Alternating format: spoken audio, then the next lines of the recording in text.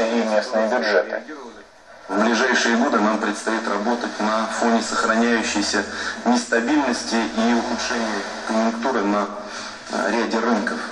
Э, Не исключено появление новых рисков, связанных с изменением торгового режима с некоторыми странами СНГ.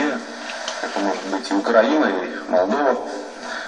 Ну, есть еще тема, связанная с санкциями в отношении ряда российских компаний. Все это может так или иначе негативно сказываться на объемах торговли. А, Но, с другой стороны, мы должны работать в рамках существующего таможенного союза и формирующегося Евразийского экономического союза.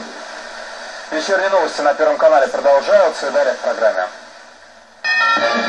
Слишком сильный дождь в Москве посыпал на нижней тоннеле, вода на Балтийске. Из-за непогоды водители просят не парковаться для чаек, расстройство для рыбаков. Что стало причиной массового отравления рыбы в районе Лобни? Без шпаргалок и мобильных не обошлось. Один из двух главных ЕГЭ по-русскому завершен.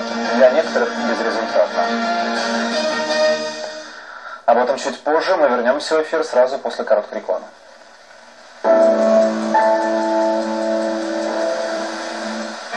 Ищите удовольствие? Найдите автомобиль от Магнат.